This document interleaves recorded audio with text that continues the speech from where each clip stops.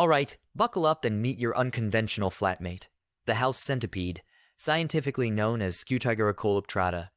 These creatures likely originated in the Mediterranean region, but have since spread worldwide due to human activities like trade and travel. Sure, their appearance might send shivers down your spine, but hold on their harmless pals, really. No biting, no stinging, and definitely no diseases transmitted.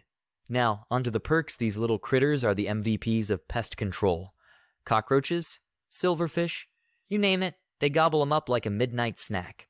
Plus, they're not your typical messy roommates. They're all about hygiene, meticulously cleaning every leg post meal. Oh, and did I mention they're the silent ninjas of the night? No noisy disturbances here, so think of them as your home's secret cleanup squad, quietly taking care of the pesky pests you'd rather not deal with.